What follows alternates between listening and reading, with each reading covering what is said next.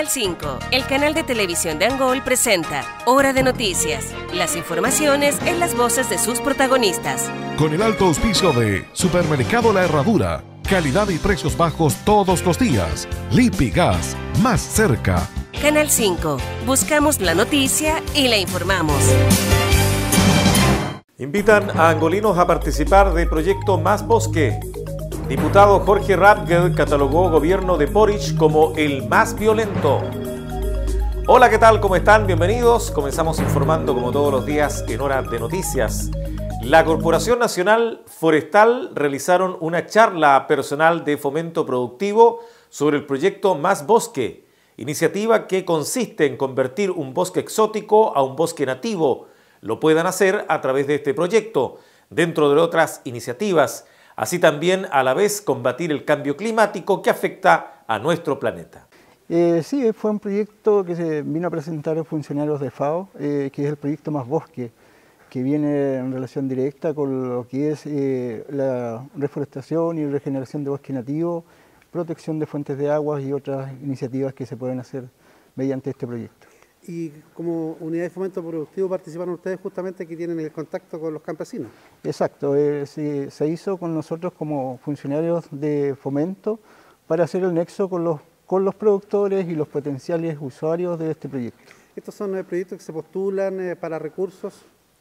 son proyectos más que nada para hacer obras o implementar obras en los predios de los agricultores. No vienen recursos, digamos, monetarios para ellos, sino que eh, por ejemplo, si una persona quiere hacer, eh, no sé, pues una regeneración o reconvertir su bosque exótico a bosque nativo de nuevo, lo puede hacer eh, presentando su proyecto al, a, la, FAO en este caso. Claro, pero ellos son los que financian estos proyectos. Ellos financian y por lo general si la persona es beneficiada se va a licitar la contratación de las obras eh, y el productor al final no va a hacer eh, prácticamente lo, que tiene que hacer es dedicarse a cuidar lo que se va a hacer ahí.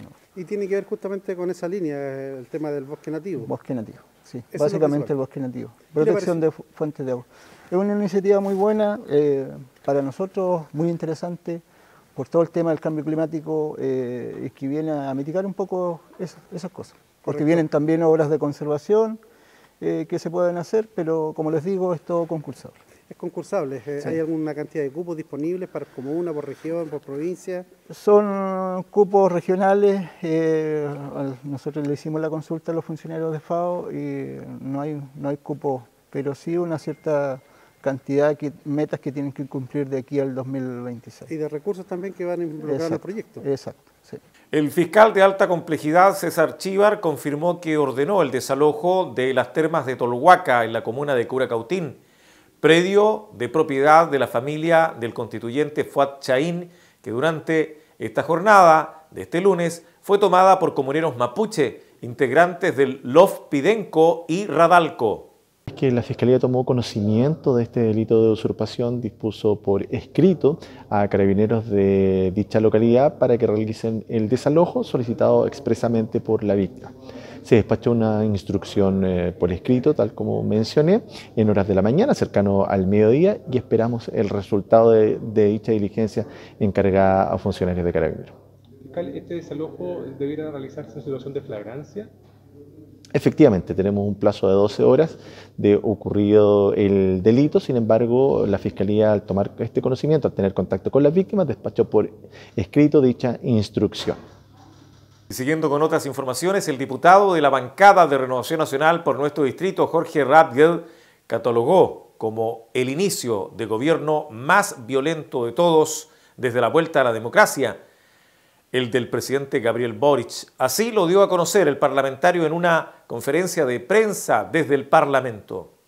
Este es el inicio de gobierno más violento después de la llegada de la democracia. Siempre existía una especie de luna de miel, que en el caso del gobierno del presidente Piñera último eh, duró incluso más de un año y acá la violencia empezó desde el primer día en el tema de la región de la Araucanía y de las eh, zonas vecinas, lamentablemente. Y el segundo aspecto a considerar es que existe una declaración de las Naciones Unidas que justamente eh, insta a los eh, países miembros a poder considerar dentro de su trabajo a los pueblos originarios y reconocer de alguna manera sus demandas.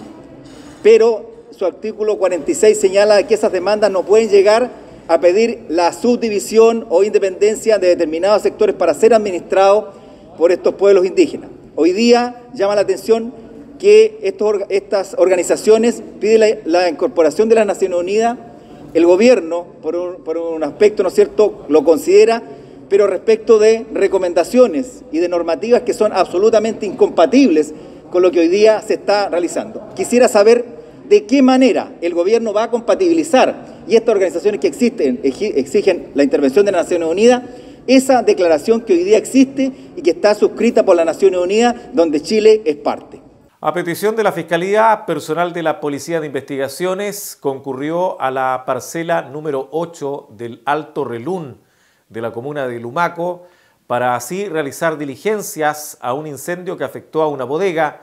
Personal policial señaló que en el lugar no se encontraron evidencias balísticas ni lienzos. A petición de la Fiscalía de Primeras Diligencias e Instrucciones Araucanía, se concurrió hasta el predio, la parcela número 8 del sector Alto Reloj Comuna de Lumaco, a fin de realizar las primeras diligencias por el delito de incendio, el que afectó a una dependencia destinada a bodega. En el trabajo del sitio suceso no fue habido evidencia balística ni lienzo adjudicatorio, por el cual se encuentra todavía en materia de investigación el origen del incendio que afectó a esta dependencia.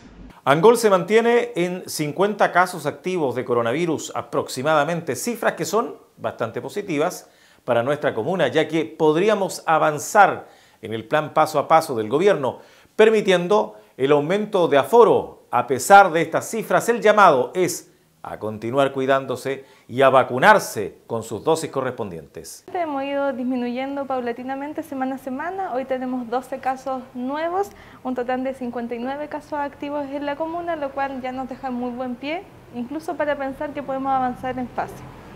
¿Ahora se debe al comportamiento de la gente o que también ha ido bajando a nivel nacional las cifras? Se debe al comportamiento a nivel nacional, eh, responde también a los porcentajes de vacunación y a, que las personas hemos aprendido un poquito a convivir con el COVID y cómo llevar a cabo las medidas de autocuidado. ¿Deberíamos avanzar a fase 4? Con estos números sí es, probable que avancemos a fase 4. Ahora, por estos días han estado entre 10 a 15 casos diarios, que es algo medianamente normal.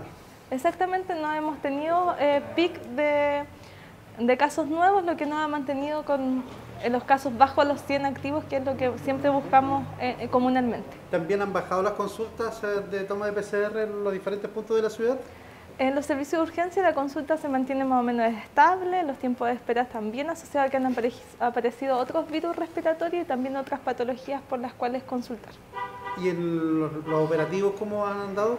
Los operativos hemos estado eh, bajo en, la consulta, bajo 10, 20 casos eh, diariamente que, de las personas que se acercan a estos operativos a consultar. Por lo mismo se suspendió la clínica móvil que se eh, estacionaba al costado del Sur Alemania donde se tomaban PCR de lunes a viernes. Hoy ya no contamos con ese apoyo, solo contamos con los SFAM que están testeando a las personas alerta COVID, los sospechosos COVID o que tienen síntomas deben acudir a los servicios de urgencia de nuestra comuna, SAPU, SAR u hospital.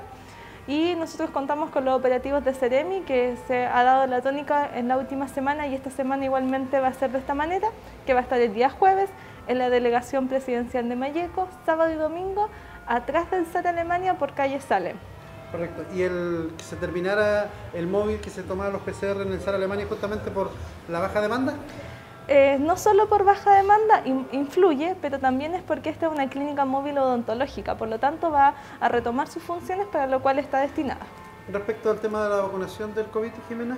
Esta semana estamos vacunando en nuestros dispositivos habituales, en Michigan 446 y en el gimnasio municipal eh, a las personas de primera y segunda dosis que no hayan iniciado o completado su esquema, a las personas que les corresponde su tercera dosis y que hayan sido vacunadas con su segunda dosis hasta el 28 de noviembre. Las personas con cuarta dosis son las que se administraron su tercera dosis hasta el 3 de octubre. Por lo tanto, avanzó el calendario una semana más y la invitación es que las personas puedan acudir a realizar esta vacunación que nos permite también eh, realizar nuestras labores de forma segura.